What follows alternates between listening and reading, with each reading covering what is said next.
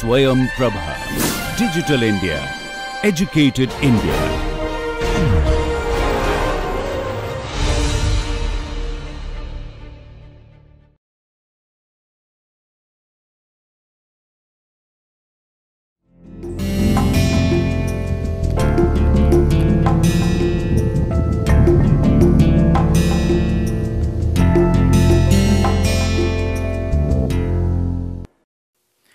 Welcome back my dear students and this is the 30th class and we are continuing the discussion of GERT and how it is different from PERT and what are the implications for the exclusive OR, implication for inclusive OR and the AND networks.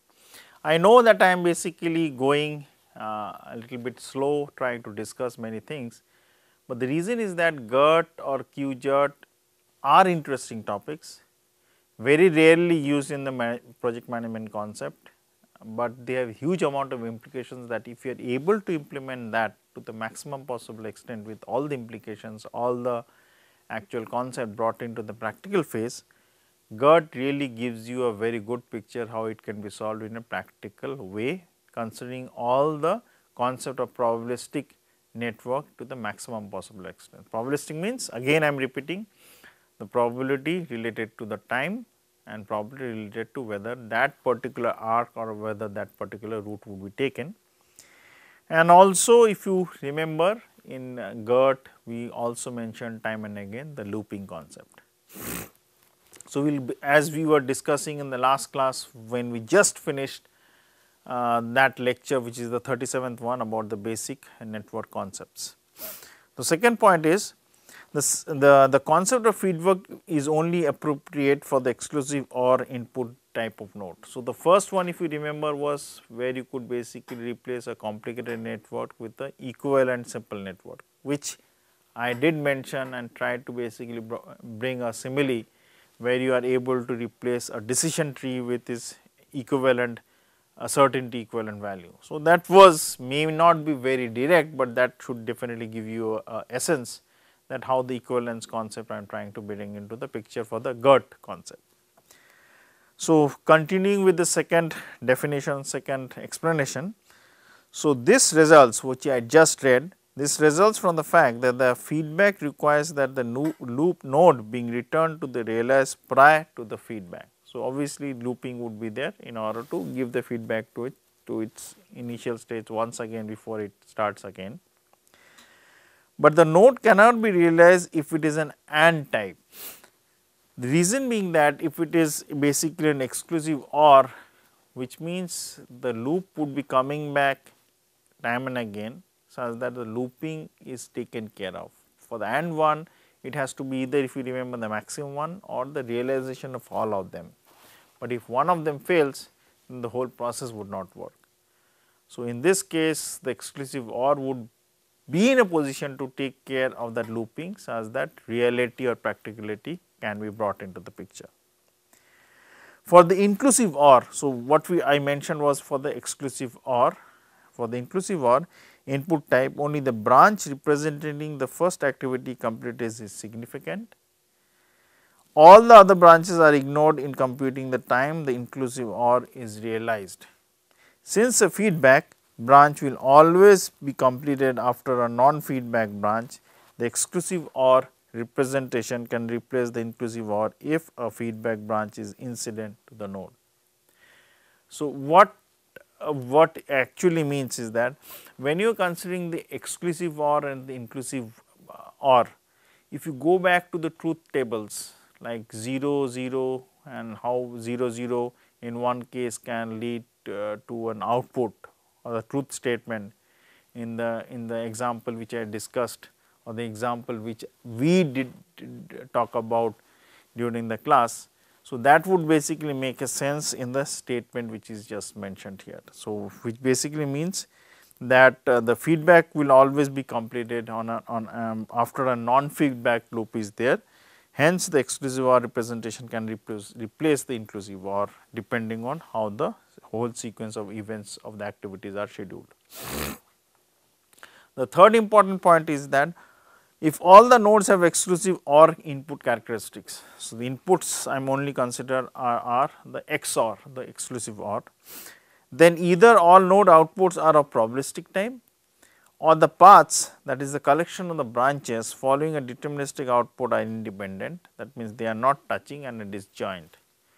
So, this will become clear as, as we proceed and, and solve or try to discuss the problems in details. If this were not the case, then at some input side of the node there would be possibility of two branches being realized simultaneously which may not be at all possible in the case of a GERT network. That means practically impossible situations can come up if we do not consider the third point which were which we are just discussing and this would contradict the condition that all nodes of the network have exclusive OR input. So, what, what it means that if you consider the exclusive OR input characteristics based on that if you proceed and do not consider those assumptions which were just mentioned. So, the end result which we will get would basically contradict the truth statement of the exclusive OR based on which you have proceeded. So, obviously it would mean that the, the condition based on which we are trying to achieve the exclusive OR should definitely be right. This basically are trying to prove it, prove it through the negation concept. The fourth characteristic is fourth one states that for some network and an inclusive uh, OR. So, we are always coming back to the exclusive OR, inclusive OR and statement time and again the input and the output concepts. So, the and, in, uh, and and inclusive OR input types can be converted to the ex exclusive OR relationship depending on how you frame the overall logic statement. To illustrate this, each of these relationship is discussed in a quantitative framework. For the exclusive OR relationship, we have this diagram. That means, the conversion of exclusive OR, inclusive OR and depending on how you are able to basically convert the truth statement would be considered. So, here you have basically an, a network. So, the, if you consider the networks, the probability p suffix a and t suffix a probability p suffix b time t suffix b are given. And if you remember this triangle which you have 1 and 2 number and the triangle this the mirror image of the triangles which you have on the right hand side with the vertical line, it will definitely give you informations of what they are all the combinations of 6 which you have done exclusive or inclusive or the deterministic one and corresponding to the AND and the, and the probabilistic one for the input and the output. So, if I consider the overall probability and time which is most important for me, why? Because if you remember the main characteristic based on which we started discussing the GERT was basically main two attributes, one was basically time, one was probability because probability and time would give me the whole structure that what would be the time taken and what would be the probability that those paths would be achieved. So, for this one when we are considering the overall probability it would basically be a simple multiplication of the concepts of P1 into PA plus P2 into PB which will give me the probability P3 for that particular uh, node. And the time would basically be a collective time based on, on the overall uh, weighted average. So, what are the weights average which I am considering? It would be, so T1 and T2 bars are the average times. So, average basically is denoted by the bar T3 bar, T1 bar, T2 bar, so on and so forth. And this concept of small t suffix a, small t suffix b, small t suffix c corresponding to whatever different type of nodes and, and inputs and uh, edges you ha have, they would basically denote the time. So, based on that we can find out the value of t bar 3, so bar means the average and based on that we proceed. So, now if it is expanded made into 3 nodes, 4 nodes, 5 nodes or say for example, exclusive OR being more complicated with many exclusive ORs, many inclusive ORs and nodes. So, they can be done accordingly.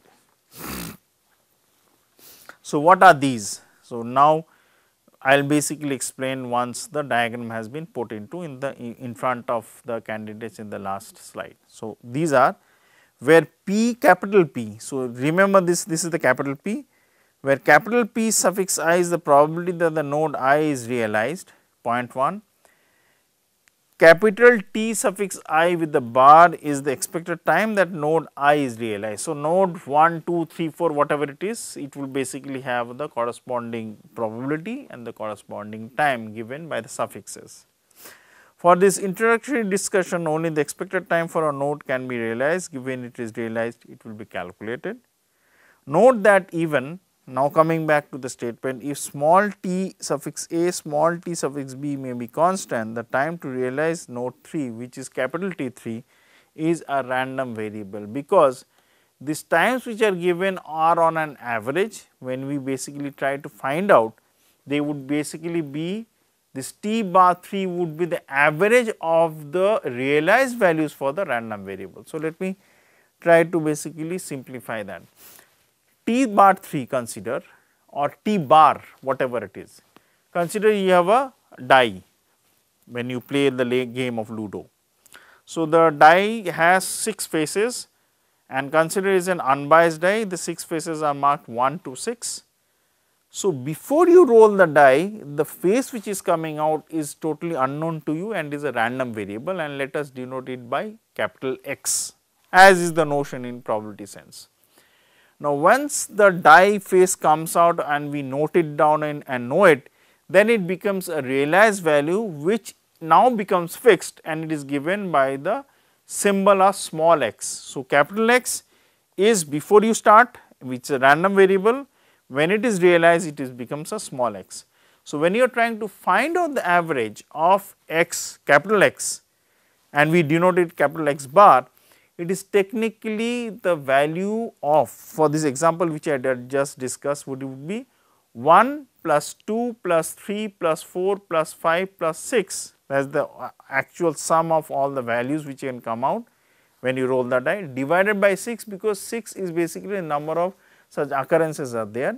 And if somebody wants to basically have a look at this picture in the different way it would be 1 into 1 by 6 plus 2 into 1 by 6 plus 3 into 1 by 6 plus 4 into 1 by 6 plus 5 into 1 by 6 plus 6 into 1 by 6 where these 1 by 6 are the corresponding probabilities point 1. Point number 2 is that considering that I am trying to basically expand my thought process and try to bring to the fact that why T3 can be an, um, a random variable. The average value can also even though it is not mentioned here, but average value can also be a random variable in this sense. Consider you have a box and the box has numbers uh, chits marked 1 to 5. Now, if I tell tell you that what is the average if I pick up one each of them chit once note it down and keep it in the box that is I am doing a random sampling. This is a concept I am just utilizing from probability for the first time do not be bothered too much about the the words which I am using try to understand the problem or significance of the problem with respect to what we are discussing. So, consider that uh, that chits has has a, has a, average value which is 1 plus 2 plus 3 plus 4 plus 5 divided by 5 because the probability of getting any one chit is always 1 by 5. Now, on the other hand consider I change my setup of the experiment, I pick up 3 chits at each time with replacement. So, what it would be? In one instant if I pick up 3 chits at, um, at one at a time with replacement it may be possible in one scenario the first chit is 1, the second chit is also 1, the third chit is also 1. So, what is the average? Average is 1 plus 1 plus 1 divided by 3 which is 1. Now, consider I repeat this experiment which is being done by the same person or different person in the same setup and he or she picks up 3 chits with replacement no problem every setting is same. It may be possible at the other extreme the chits which come up out is 555. In that case the average value of that particular sample which you pick up. I am using the word sample for the first time, but you can check up any simple concept of probability that will become much easier for you to understand. A sample is basically a small set of the whole set of things which we have. So, in that case the average of the sample is 5 plus 5 plus 5 divided by 3 which is 5. If I consider this number 1 which I just mentioned average and number 5 in the long run they seem to be average, but they are random variable themselves because if I keep picking up observations the average would change. So, in the sense that the average concept which is written here we will consider them to be deterministic, but they can be sequences where or the outputs depending on what type of ex example which you have where the realization has not been real, realized that means all the values had not been realized to, to that value to that extent where all the possibilities have been looked into such that the average can be random 0.1 but remember that the averages of the average in the long run should actually be the bar value which is deterministic. And just to wrap up this discussion here, the averages of the averages or whatever you take in the long run should be exactly equal to the population. Population means the whole set of observation which you have. For our example, they were the chits 1, 2, 3, 4, 5 collectively. So, it would basically be equal to the actual population average. So, continuing our discussion is that not that even note that even though T A T B may be constant the time realized for 3 T 3 is a random variable and so can T 3 bar be, but do not be too much bothered about that. The derivation of P 3 and T 3 is, in, is by enumeration of the possible events or different type of events or outcomes which you can have that result in the realization of node 3. Thus, node 3 can be realized if either branch A or branch B is realized. So, whatever different type of, of inputs which you have which is in this diagram branch A with probability P suffix A time T suffix A, branch B being probability P suffix B and uh, time T suffix B is there. So, these are only two they can be more than two also that would only make things uh, complicated on the calculation front, but the concept remains the same. So, the probability that a branch will be realized is the probability that node 1 is realized which is P capital P suffix 1. So, this small p and capital P would now become clear to you. One is probability along the edge and one is probability of the realization of the node. Edge means the arc.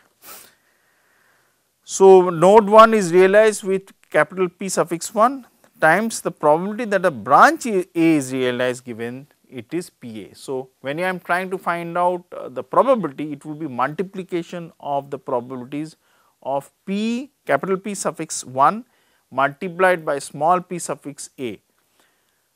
Now, if I have two branches it was what capital P if I go back here capital P suffix P A then capital P 2 into P B. Now, if there are more nodes the calculation would just be repeated accordingly where you basically bring the node probabilities and the and the realization properties accordingly.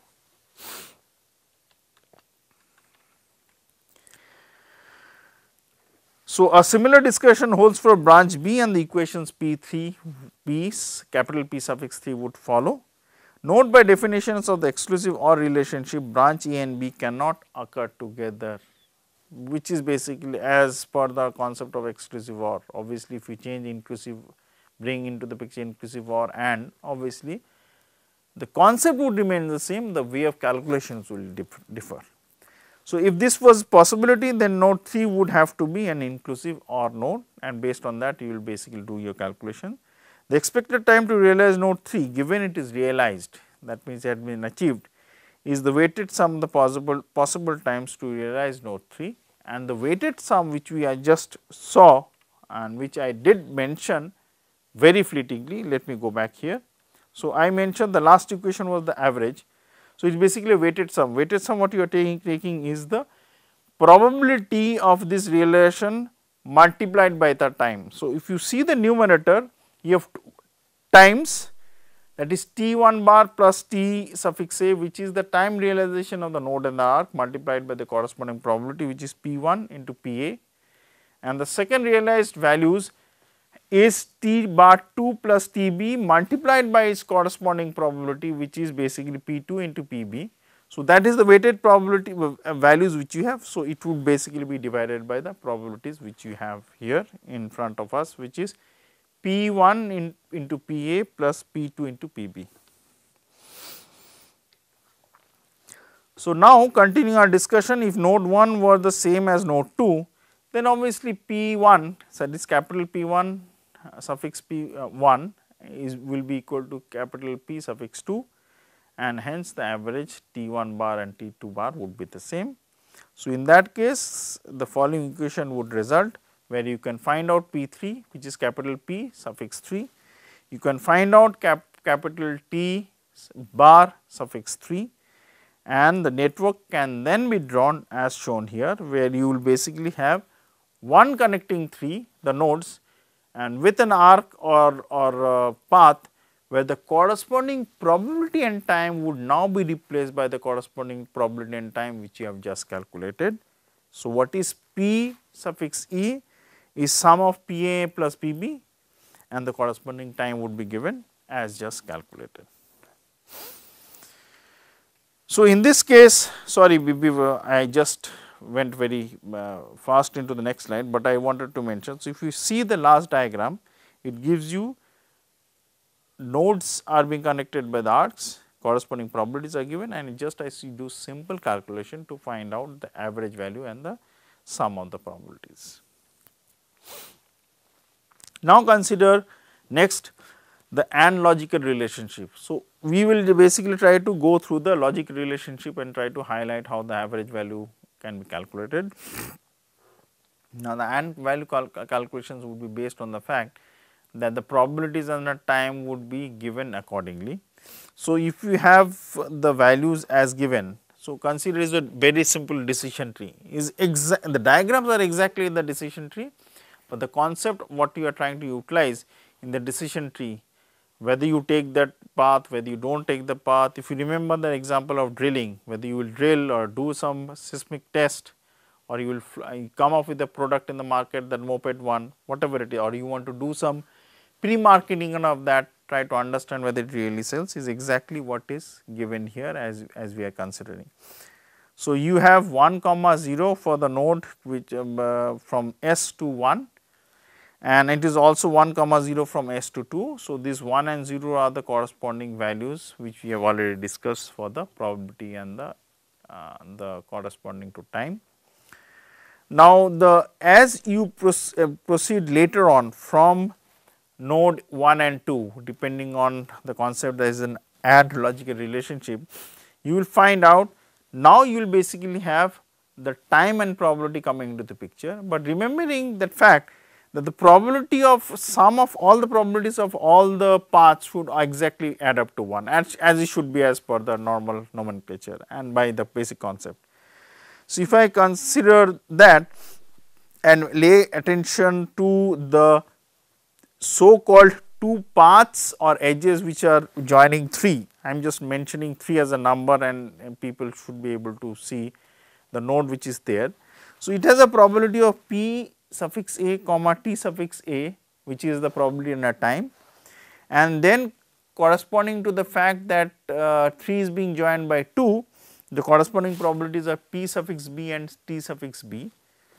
And if you see the alternative no, uh, arcs which are going out from 1 and 2 separately obviously one would be 1 minus the probability for the path which is joining 1 and 3 and for the other path which is the bottommost one which is going out from 2 and not joining 3, it would be probability would be 1 minus the corresponding probability which is 1 minus Pb where Pb is the probability joining 2 and 3 and the corresponding times would be given accordingly.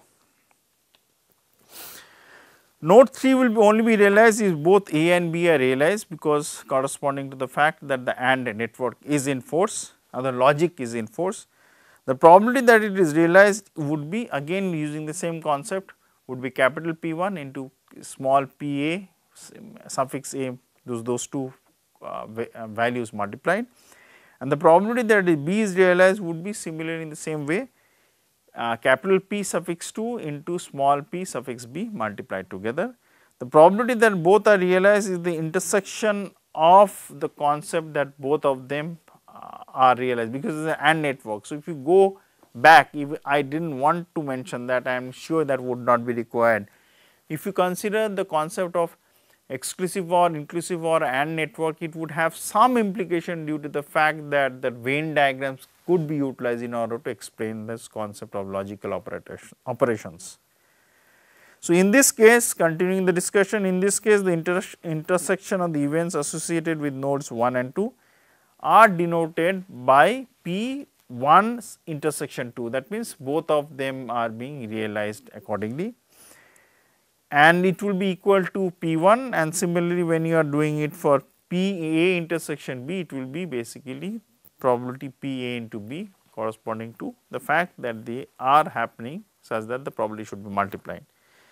And, and again if I want to find out P3 it will be multiplication of the first term which is basically P1 multiplied by the multiplication of those terms of PA and PB because now it is basically the AND network Similarly, if you remember the AND network and, and I had discussed in this class when I had gone to, gone to the characteristics of the nodes, it was basically maximum time. So, if I come to T3, it is basically the maximum time which is occurring and we will take that value which is more.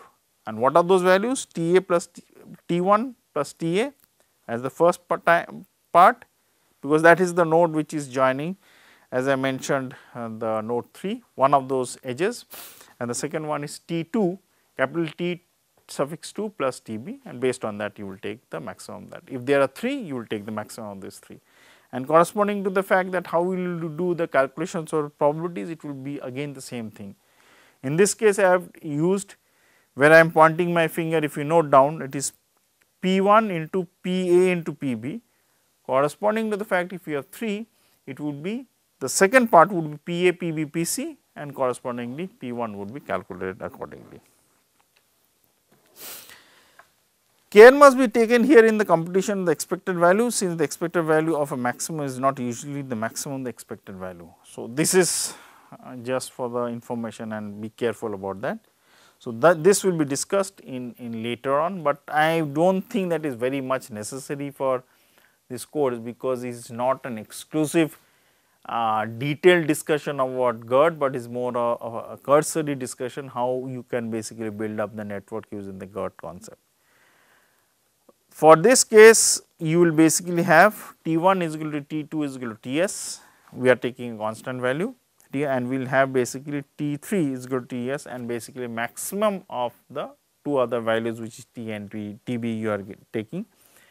Based on that the probability would also be calculated which is PB, PA into PB and then the maximum value would be given as T, TE would be equal to max of TA and TB and you would basically do the uh, network accordingly. Now, before I go to the next slide, I will I try to basically summarize what we are doing is trying to basically go into the nitty gritties of the AND, the exclusive OR and the inclusive OR and try to basically see the how the calculations can be subsumed and brought into the forefront for any network such that combination of any network with any edges and any number of arcs can be done very practically considering both time as well as the realization of uh, the networks or the arcs are probabilistic.